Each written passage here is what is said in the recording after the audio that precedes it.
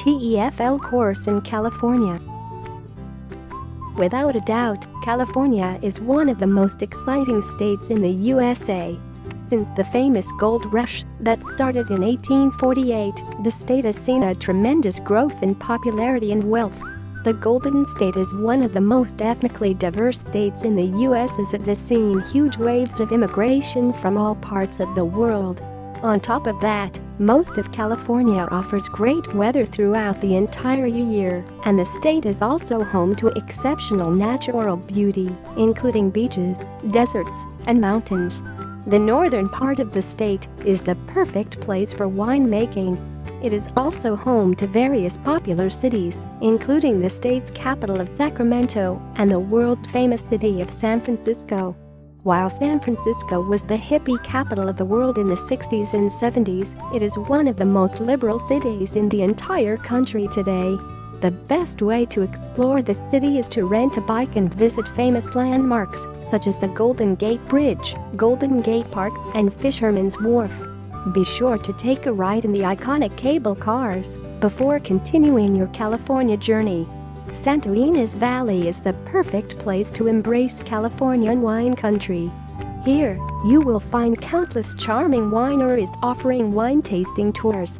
The Vintner families welcome tourists from across the world to sample their high-quality wines. They are able to grow various different types of grapes because of the mild climate. Bordeaux, Pinot Noir, and Chardonnay are among the most popular grapes you can grow in Santa Ynez. The best way to explore wine country is to simply stay for a few days at one of the many relaxing resorts and sample your way through wine heaven. California is home to so many exciting cities, but one of them makes all the others stand in the shade. Los Angeles is probably the most famous city in the USA as it is the movie capital of the world. It is not a rare sight to see celebrities in Los Angeles, but the city has so much more to offer than glitz and glamour.